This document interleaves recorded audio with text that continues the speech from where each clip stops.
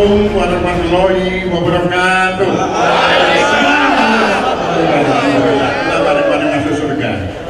Amin. Para pejabat atau yang mewakili dan yang saya cintai, saudaraku semua, para peternak se-Indonesia, baik itu peternak sapi, ayam, kerbau, domba, itik, kelinci juga tadi saya lihat tulisannya dan lain sebagainya. Hari ini merupakan hari yang paling bersejarah. Saya mempertegas apa yang disampaikan oleh Ketua PPUI bahwa kepada pemerintah, mudah-mudahan sampai pembicaraan ini kepada pemerintah. Wahai pemerintah, kami peternak tidak minta uang, kami tidak minta dana hibah, kami tidak minta dana bansos, kami tidak butuh itu semua. Peternak bisa mandiri.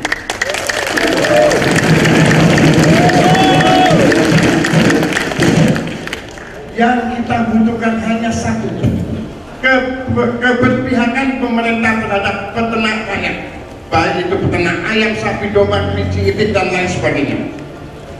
Kenapa kita wajib dan saya saya merasa wajib menagih kepada pemerintah keberpihakan pada rakyat. Pemerintah yang sekarang dengan nawacitanya sembilan itu salah satu nawacitanya saya bacakan yang nomor tujuh mewujudkan kemandirian ekonomi dengan menggerakkan sektor strategis ekonomi domestik. Apakah peternakan bukan sektor ekonomi strategis? Tunjukkan di mana rakyat Indonesia yang tidak bersentuhan dengan peternakan. Di desa-desa mereka pasti juga punya ayam walaupun lima ekor sepuluh ekor. Betul. Semua departemen ada bantuan-bantuan apa berupa ternak. Departemen kesehatan pun memberikan bantuan, bukan memberikan alat suntik, tapi mereka memberikan bantuan domba untuk dipelihara rakyat supaya ada penghasilan tambahan. Tidak ada, hampir tidak ada peternak lewatkan negara Indonesia yang tidak bersentuhan dengan peternakan. Tapi apa yang terjadi sekarang?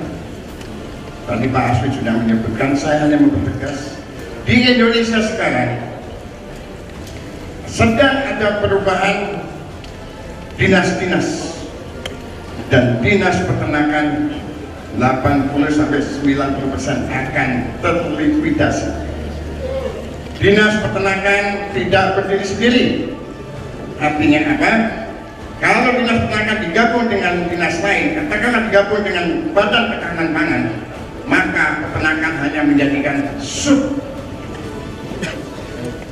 kita tidak tidak bisa membayangkan apabila di satu daerah terjangkit mudah-mudahan tidak terjadi terjangkit penyakit-penyakit yang berat antrak misalnya kalau dinasnya digabung dan itu hanya bidang di dalam satu dinas tentunya eh, karya pegawainya sedikit siapa yang akan bisa dan yang lebih miris adik-adik mahasiswa animo mahasiswa peternakan empat tahun ini sangat meningkat besar.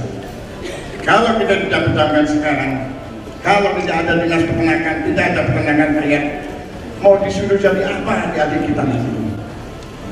Oleh karena itu, sekali lagi saya tidak berpanjang lebar. Sekali lagi saya ulangi, tolong juga disampaikan nanti di daerah masing-masing. Bilang kepada pemerintah, kita tidak butuh uang, kita tidak butuh dana hibah, kita tidak butuh bansos tenang bisa mandiri dan.